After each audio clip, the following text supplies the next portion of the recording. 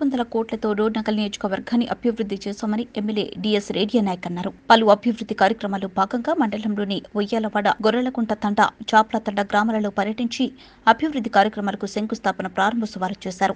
వారి వెంట బీఆర్ఎస్ నాయకులు కార్యకర్తలు తదితరులు పాల్గొన్నారు.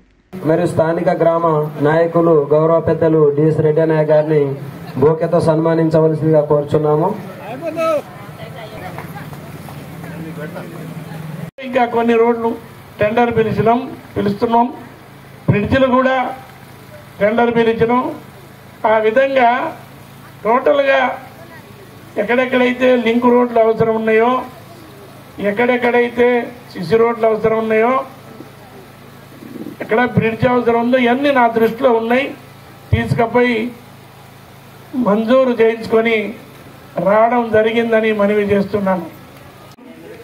కళ్యాణ లక్ష్మి కేసీఆర్ కిట్ ఇట్లా చెప్తూ పోతే ఎన్నో పథకాలు మామూలు పథకాలు మరి ఇన్ని పనులు చేస్తున్నప్పుడు మీరు ఓటేసి గెలిపించాలి కదా ధర్మం కదా న్యాయం కదా?